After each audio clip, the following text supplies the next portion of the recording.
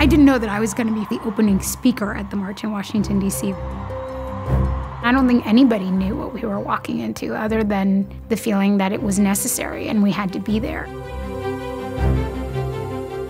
I see this as a moment of taking feminism back, making feminism a project that all of us can share. Black Lives Win! Black Lives Matter! Black Lives Win! When I put the hashtag in front of Black Lives Matter, I was like, we're gonna make this thing go viral. I still remember the exact moment when we hit the publish button. We kind of watched with wonder as the story started to take off like wildfire. Everybody's like, oh, good, look, now we have a movement.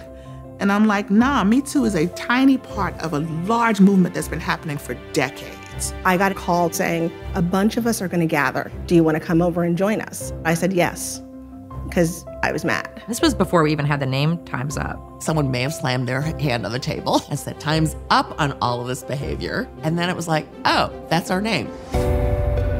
There's a renaissance that's happening inside of Hollywood. I remember calling my attorney and saying, like, if I say this, are we sure that it's true? On behalf of women everywhere, I will brag.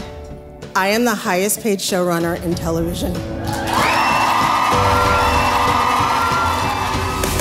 The United States Congress certainly was not built for young women, but it's really young women of color who have pushed forward for so many changes, and that has just turned the power dynamics here on Capitol Hill on its head. The world and this country is changing.